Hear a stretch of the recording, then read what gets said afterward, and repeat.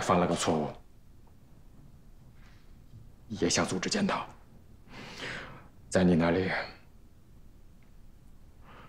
我趁你不注意拿了把。枪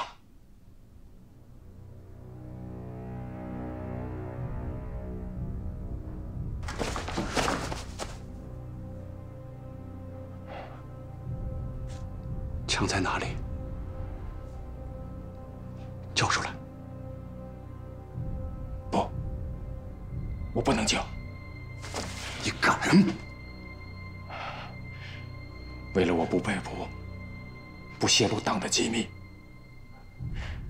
那把枪就是我党性的保证。真的，没有什么敢不敢的。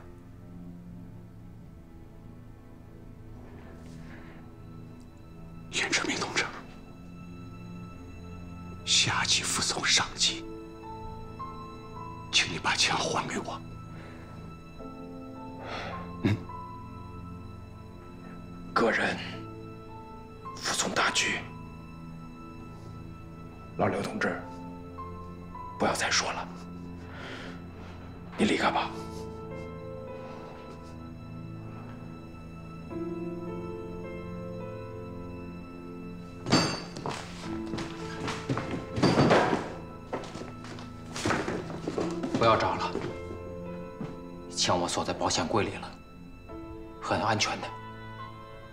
你放心，除了我，谁也拿不走。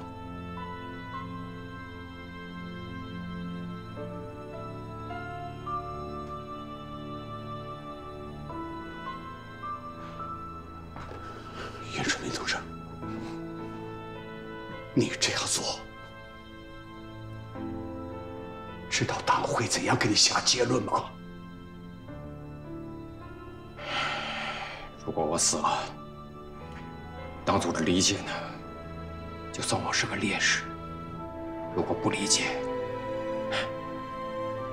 就还把我当个教授好了。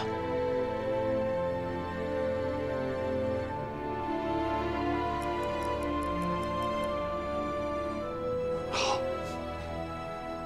我指挥不了你，要张云云同志来好了，不把组织毁了，你是不会回头。老刘同志，你如果把张云云同志给叫来，我现在就出去，向同学们公布梁景伦的真实身份。你要破坏中央的整个部署吗？不，我绝不。我要顾全大局，我才留下来要看着梁景伦。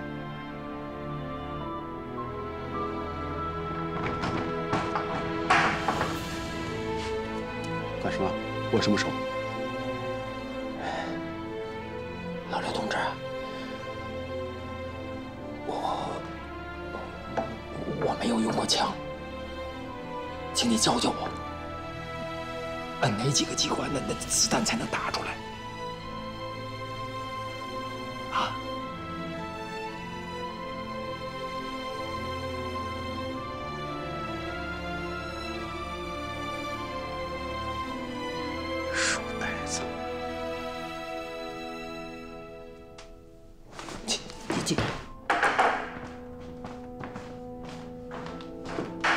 真希望我被捕吗？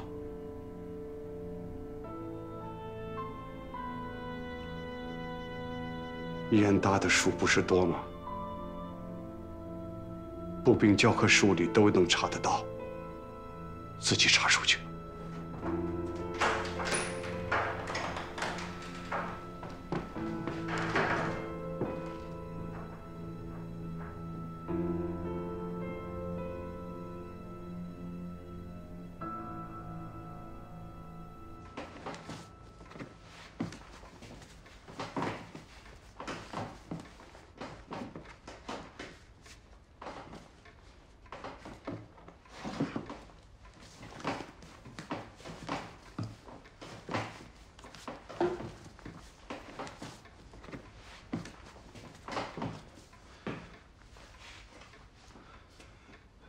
还活不活了？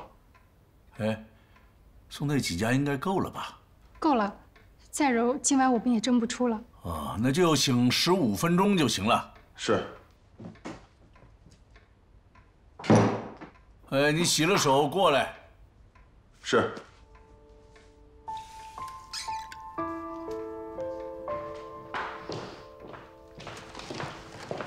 坐我这儿吧，我去做馒头。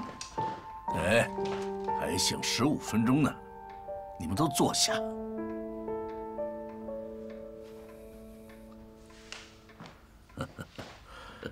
猫刚才帮我干了那么多的活小云也在这儿，我们就对唱一段正德皇帝的爱情戏给他听。老夫子啊，您喜欢京剧，孟敖平时可是不喜欢京剧的。不喜欢吗？只是平时不常听。人家没说不喜欢。那唱什么？就唱那个李凤姐。您还搭得上啊？我整段是唱不下来了，主要还是听你唱啊。就是，小妈你就唱吧，真的可好听了。那就从《月儿弯弯》开始。行。月儿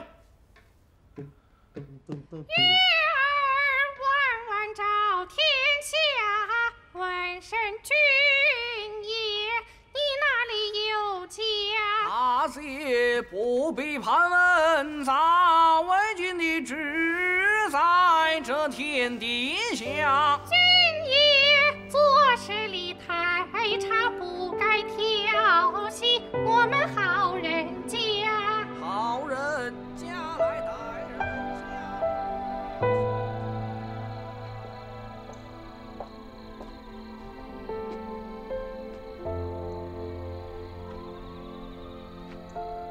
我和了那么多面粉，你和木兰在家里蒸馒头吧。哪儿都不要去。明天发人现场，你们也不要去。你跟梁先生谈了什么？你还一个字儿都没说呢。我问他是不是共产党，他说不是。那就好。我告诉他，你和木兰，一个是我的未婚妻，一个是我的表妹。以后学联的事情，你们就不要参与了。谁给你这样的权利？崔中石同志，你早点回去吧，照顾好自己，也照顾好木兰。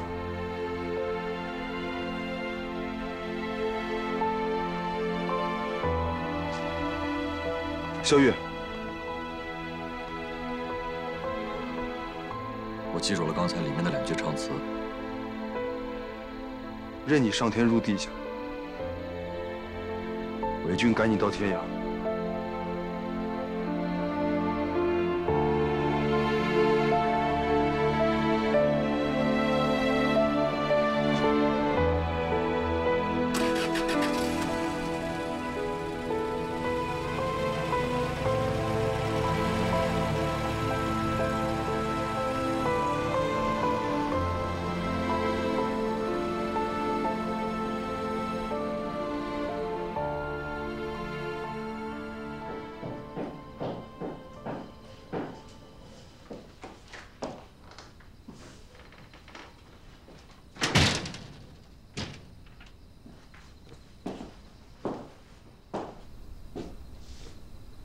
坐吧，咱们接着谈完。我现在不能坐了。您刚才问我的问题，我无法回答，现在也没有时间回答。是共产党叫你去，还是曾可达叫你去？您不要猜了。刚才是何副校长的电话，您夫人打来的，叫您和我现在立刻过去。好吧，你既然不愿意正面回答我。我也不需要你承认自己是共产党还是国民党。我只想让你明白，我已经盯上你了。只要不牵涉到我的家人，你干什么都不关我的事。一会儿到了何家见了木兰，希望你明确表态，除了师生关系，你们不可能有任何其他的关系。不知道梁教授能不能做到？现在还不能，嗯，因为现在我还不能跟您一起去。明天要给北平各大院校的师生发粮，组织的不好，就会发生新的学潮。到时候第一个为难的就是方大队长，您的儿子。学联的同学都在等我，您觉得我是否应该去防范于未然？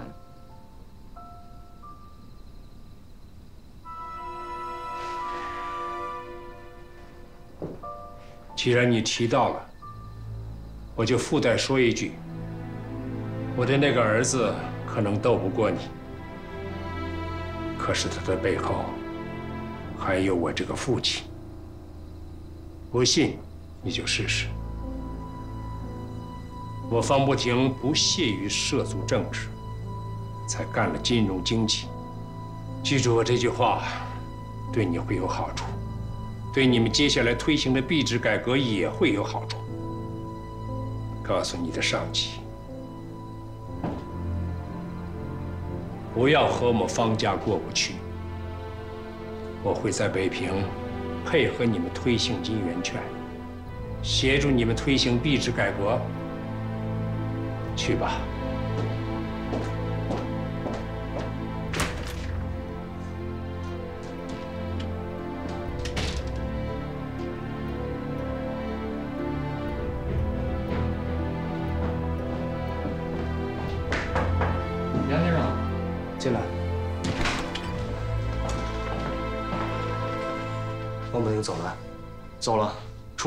专车。严春明回来了。谁？回哪儿？严春明就在刚才，我亲眼看到回图书馆了。他找我了吗？把你知道的情况都说完。他没找，也没有什么情况。他进了图书馆，又直接去了山本市。立刻返回图书馆，叮嘱他。杨先生，我们接到的命令是要保护你，不需要什么保护。立刻去吧。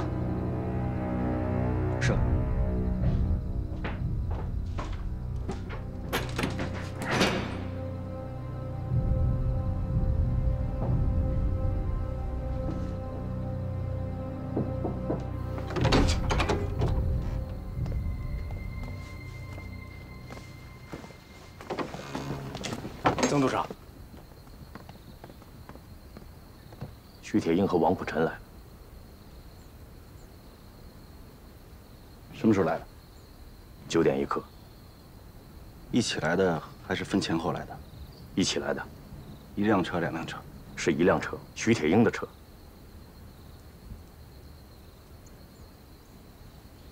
成绩成有动作。王副官，到。守着电台，我可能随时要向江峰同志汇报。是。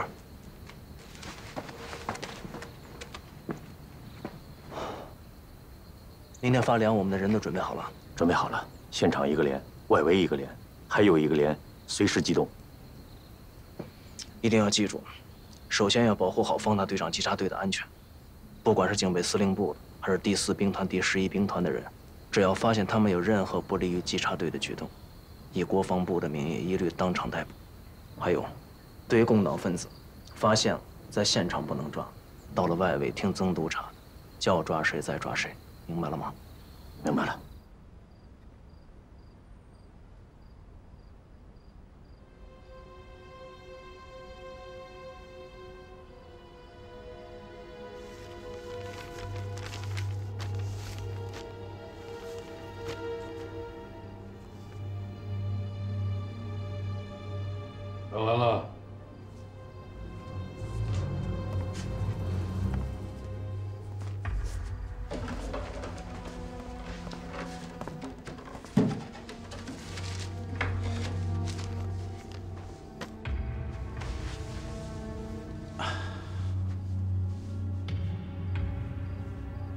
都签了字了。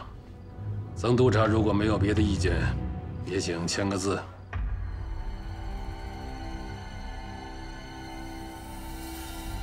陈总司令那边还在等我们的回执，我就不签字了。曾督察不签字，恐怕不合适吧？合适啊。徐局长兼着警备司令部的侦缉处长，王站长这块也归警备司令部管。你们应该签字。我代表国防部，国防部不归警备司令部管。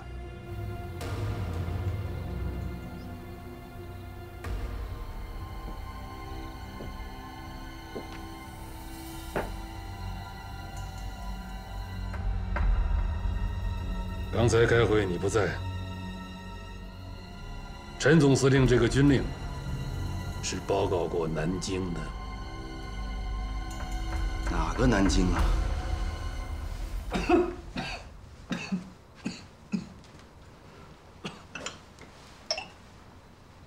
气好了，曾督察，这杯就是您的。我们什么时候才可以统一贯彻领袖的思想啊？王站长，同属国防部，保密局也给你们发了新生活运动的手册。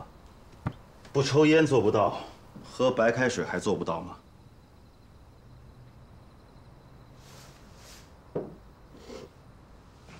王站长，对不起啊，刚才我说的那话不是指你。你们该喝茶继续喝茶，该抽烟接着抽烟。茶杯里要不要加水啊？说签字的事吧。我刚才已经说了，我没有接到南京方面有关明天要抓人的指示。如能顾全大局，我也希望二位不要按照北平警备司令部的这份军令执行。当下最要紧的是稳定。我们当然希望稳定，可是共产党不让我们稳定。刚才接到的情报，共产党明天就会在领粮的现场鼓动新的学潮。王站长，情报是你那条线掌握的。好。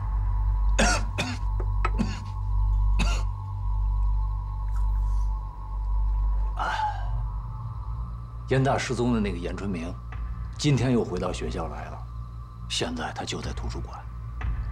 很多北京学联的学生，正陆续去了他那个山本市。从各种迹象上面分析，我们基本上可以断定，这个严春明，就是共产党学委在燕京大学的负责人。严春明在共产党学委是梁经纶的上级。他当然早就知道，从梁经纶那里得到的情报，严春明秘密去了天津，其实很可能是去了解放区，而且只是燕大学委的工作由梁经纶暂时负责，怎么突然又回来了？有情报断定，他是回来鼓动学潮的吗？没有。但共产党在这个时候派他回来，那一定是有行动。什么行动？我们要准确的情报。准确的情报，应该就是鼓动学潮。起舞事件现在弄得我们已经很被动了，明天再来一次，就不是北平扛不住了，南京方面也会扛不住了。曾组长，国防部调查组的任务是反贪腐，但是根本任务呢，还是对付共产党在北平闹事嘛。反贪腐总不至于反倒被共党利用，心痛仇快吧？徐局长这话我听不明白了。我们反贪腐，怎么就被共党利用了？怎么就心痛仇快了？我的话难道说的还不够明白吗？王站长，共产党七月六号的讲话文件，你们破获后上报了吗？那第一时间就上报了保密局。毛局长也即刻呈递给了总统。保密局有分析指示吗？应该有分析，但是没有具体指示。那我就传达国防部预备干部局所做的具体指示：共产党在国统区点燃了火，已经撤退了。现在他们是隔岸观火，反而我们有些人想把这火烧得越来越大。我希望曾督察把话。说的更明白一些。共产党的文件说的很明白，他们要隐蔽精干，积蓄力量，把他们的党员都安全转移到解放区去。这个时候，他们会来鼓动学潮吗？而我们有些人唯恐学潮不起，为什么？说轻一点是为冤屈鱼，说重一点是以反共为名掩盖他们贪腐的罪行。建峰同志一再指示，在全国各大城市，我们现在的重要任务就是争取民心，安定后方，以利国军在全国战场和共党决战。坚决反贪是这个目的，明天安全发放粮食也是这个目的。我希望二位按照建峰同志的指示办，不要激化局面，不要抓人。徐局长，我说明白了吧？说的非常明白了。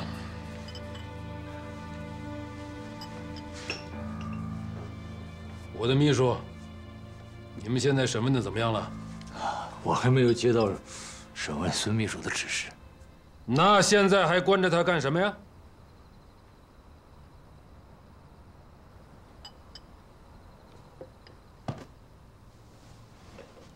孙朝忠同志，我们全国党员通讯局培养的优秀青年干部，他不会有任何贪腐问题吧？只不过是执行戡乱救国方针，杀了个共党分子崔中实。可现在呢，却被你们啊，哼，和马鞍山一起关在了西山监狱。现在真正的共党分子又出现了，可是曾督察却断言。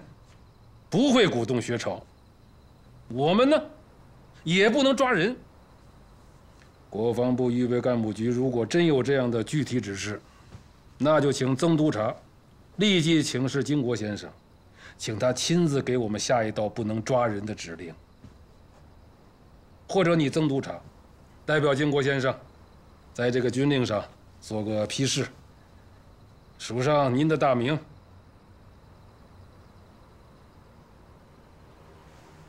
否则，明天我们必须按照华北剿总的军令去办。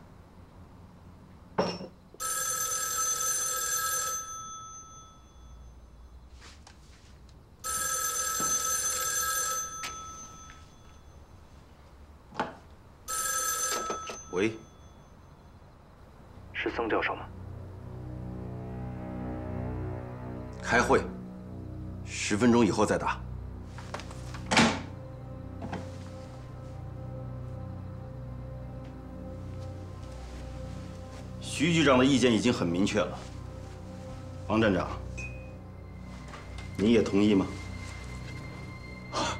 我的意见就是，啊，我的意见就是和为贵。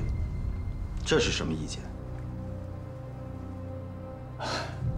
麻烦曾督察请示一下经国局长，那个孙秘书是不是可以就先放了？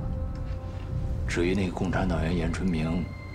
我建议明天发粮的现场先不要抓，等他离开的时候，秘密抓捕。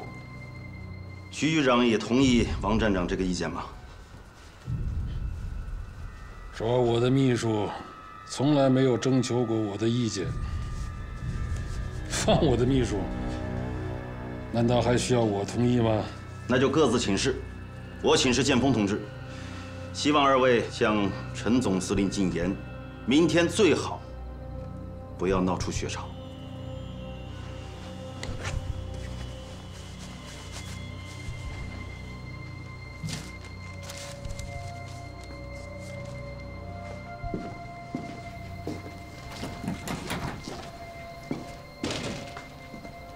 王副官到，送一下。是。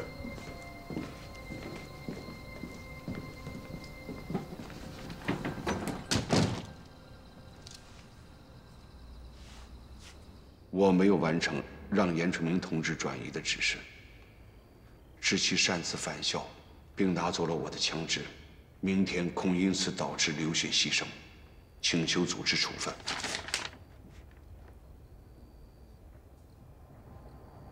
火，请岳云同志签署，立刻电报上级吧。现在是我负责，我就是你的上级。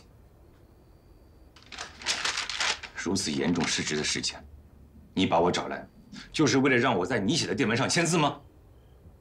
我不想听你的解释。老刘同志，你这种只认个人、无视组织程序、直接越级的行为已经不是一次了。你还口口声声说严春明同志无视组织、无视纪律。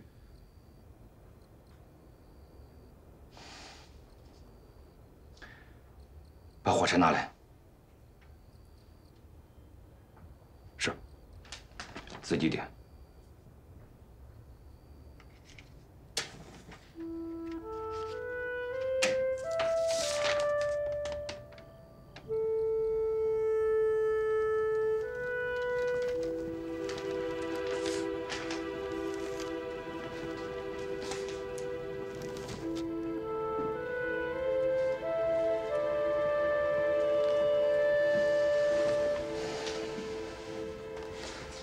不要再说什么检讨的事儿了，你直接说。接下来，你准备怎么办？严春明已经知道了梁经纶的真实情况，他是个不会掩饰的人。见了面，必然会被梁经纶察觉。梁经纶一旦察觉我们知道了他的真实身份，上级的整个部署就都毁了。我们现在必须采取紧急措施，不能让他跟梁经纶见面。现在你不觉得已经晚了？是晚了点。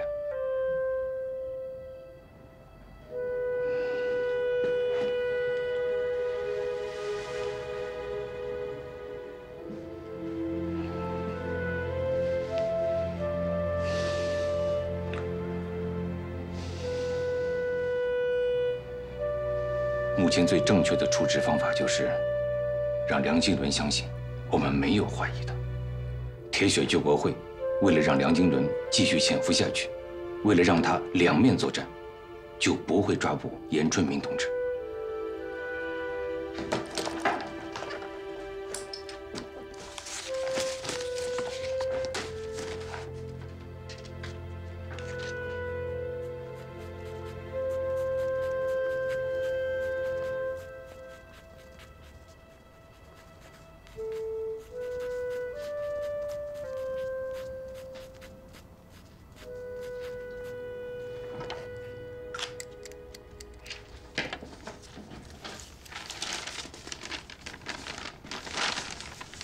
前方战场的决战很快就会全面展开，接下来就是接管城市，百废待兴。我们需要多少人才？崔荣志同志牺牲了，我们失去了一个懂经济的优秀人才，所以严春明同志绝不能再出任何意外，马上派人到严大图书馆，看准时机，让学联的学生转交给梁经纶，然后马上离开。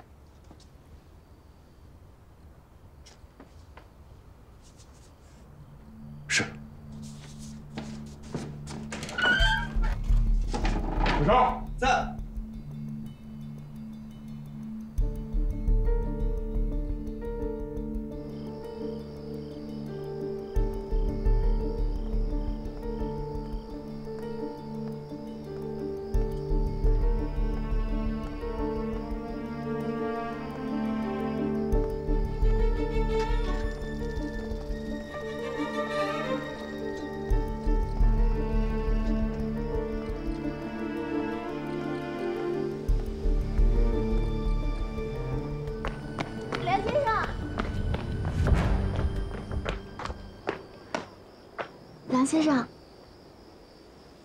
你怎么跑出来了？何伯伯让我来的。我大爸来了，说不让我见你，何伯伯就生气了，说我一定要来见你。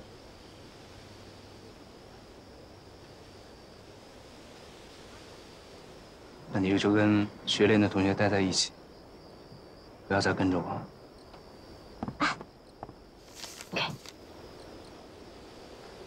总学委给你的信，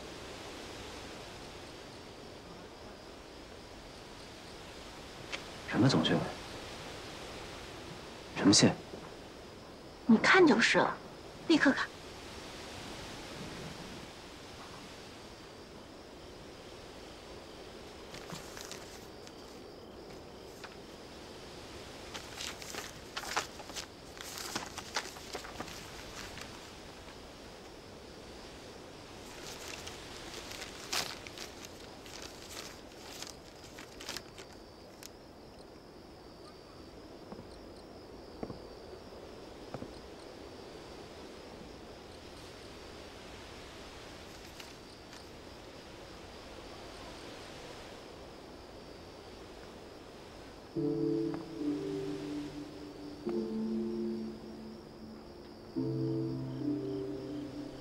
人呢？走了，你认识？我不认识。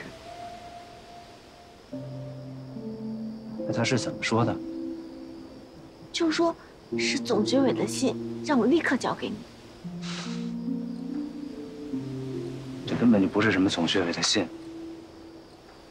别再跟着我了，快回家去吧。快走啊！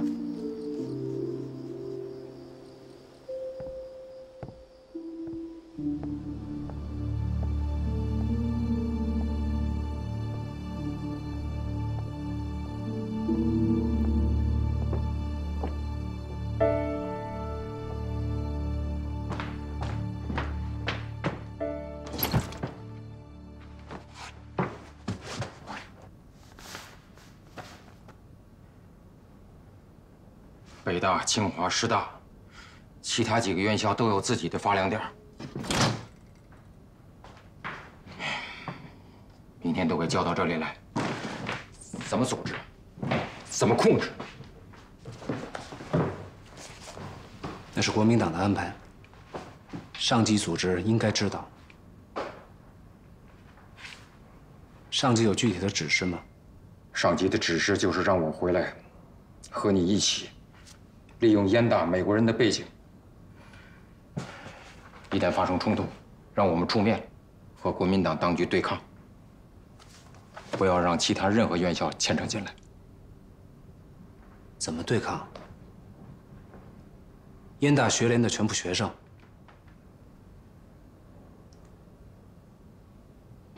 我说了要牺牲燕大学联的学生吗？你听清楚啊！我说跟国民党当局对抗，不包括任何一个学生，只是我和你。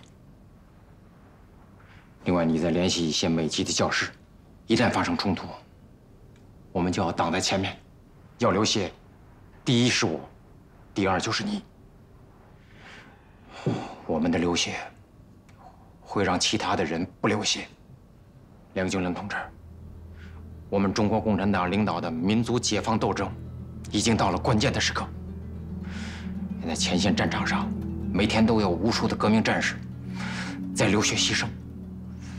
是，人固有一死，或重于泰山，或轻于鸿毛。我们地下战线的知识分子党员，也要接受同样的考验。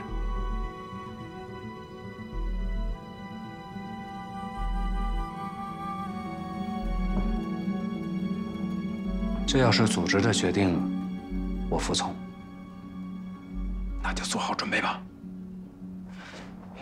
你现在就出去，向学委的同学们和学联的那些骨干传达。记住，一定要分头传达，不要交叉。嗯，明天不管发生什么情况，他们中间的任何一个人都不能暴露自己。春明同志，你有没有想过，你我要是发生流血情况，其他的同学还能够保持理智冷静，不发生激烈的对抗？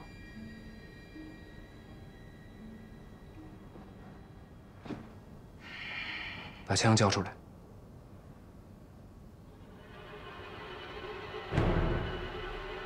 什么？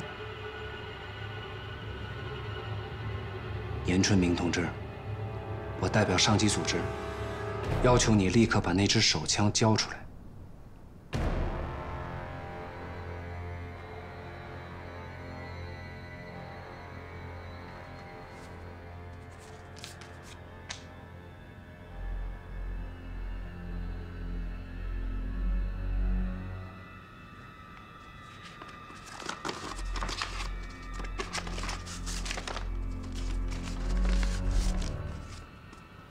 经纶同志、严春明同志公然违反组织决定，擅自返校，并携有手枪。我们认为这是极端个人英雄主义作祟，严重违背中央七六指示精神。特指示你代理燕大学委负责工作，稳定学联，避免任何无谓牺牲。见字即向严春明同志出示，命他交出枪支，控制他的行动，保证他的安全。总学委，我要向上级解释。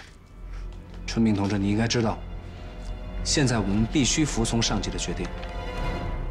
枪先交给我，你人留在这儿，等上级有了新的指示，我再向你传达。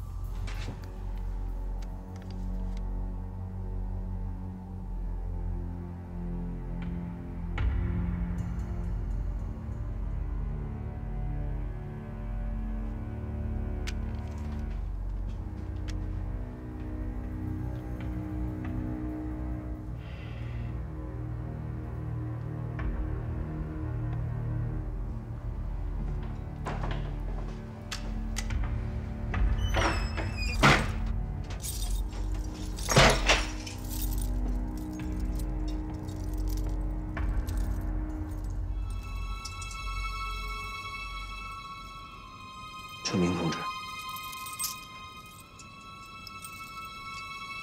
我会尽最大的努力控制好明天的局面。只要明天不出事，我会以燕大学委支部的名义写一个报告，由您转交上级。我们燕大学委在您的领导下，只有为革命牺牲的精神，没有个人英雄主义。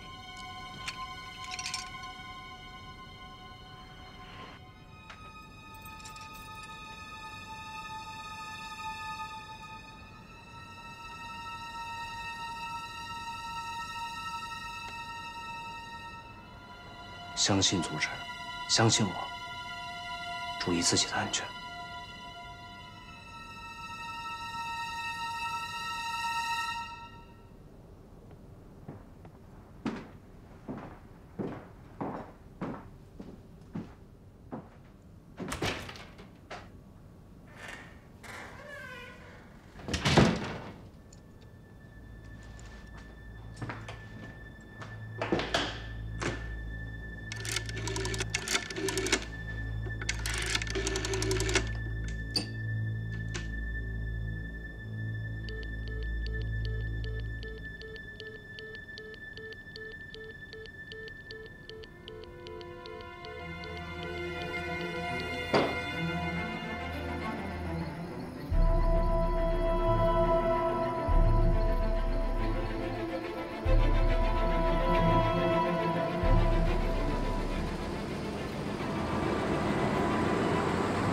粮出来了，我去报告队长。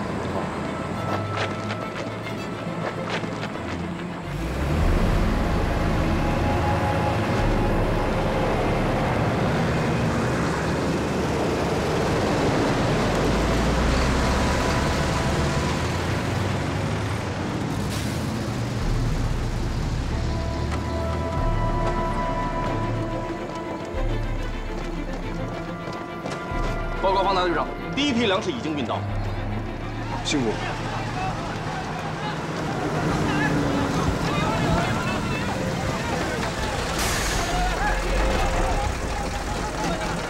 下了下了，注意安全啊！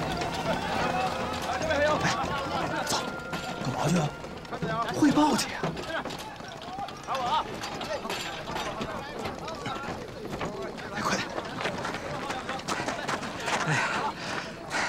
报告方大队长，这是一千吨粮食，这批啊，先运过来一百吨，先让国防部稽查大队检查，然后再发到发粮站去。